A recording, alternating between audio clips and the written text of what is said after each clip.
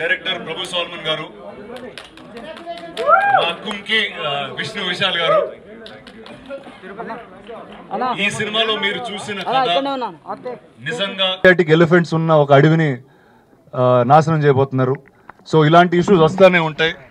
So మీరు చూడండి పిల్లలకు చూపించండి. Let's hope this film can change an entire generation and save environment thank you అందరికీ నమస్కారం.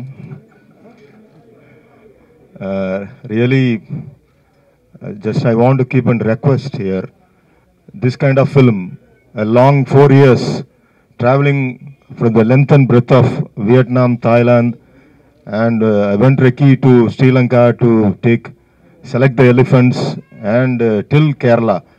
Uh, I want to specially thank Mr. Rana sir uh, to run along with me the length and breadth of all the jungles.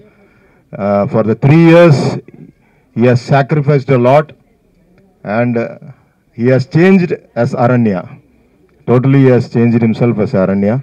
And Vishnu Vishal, he has done a, a big job taking the shoulder uh, to move the script to a level, and they were all the part of the film. And my cameraman, uh, music director Resul Pookutty, everyone, they have worked a lot for the past three years.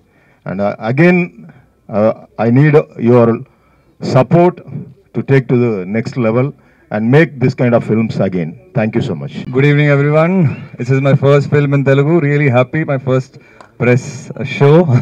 I'm really, really happy to be here, and I want to thank Rana. Without him, this wouldn't have been possible. And the way he's performed in the movie, I was blown away. Today morning, I saw the entire movie in Chennai, and now in uh, in Telugu. And I think he should definitely get lots of awards for this performance. I'm very happy, and I just request all of you to write good things about the movie. If you really feel it's good, I'm sure it's good, and uh, spread this message to as many people as possible.